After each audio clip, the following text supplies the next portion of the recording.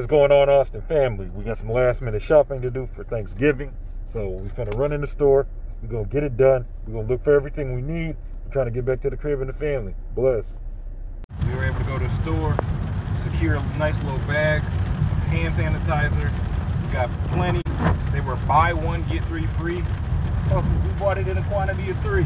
Had to. Necessary, especially with the lockdown and the virus and the babies. Must have. If you can find a nice deal on them, awesome. Say hi, guys. Say hi. Say hi, Mom.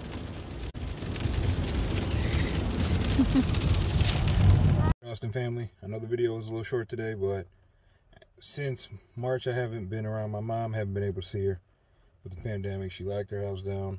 We didn't go over there. We weren't visiting. Um, so she wasn't able to meet my last child. So that's what we did today. We're spending some time with them.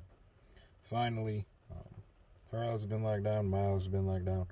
So we're going to finally be able to see her. Let her meet her last grandchild that I'm having because I got fixed. Um, don't want any more kids. But I'm still cool with growing the family. That's why we letting y'all in. That's why we trying to grow the family with y'all. We love y'all. We want y'all to be part of it. We want to make the family bigger. I just don't want no more kids for me.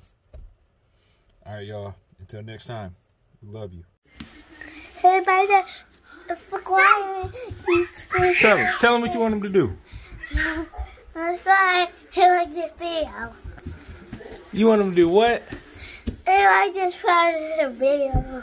Like and subscribe to the video? Yeah. All right, y'all heard him. Like and subscribe to the video. Thank you.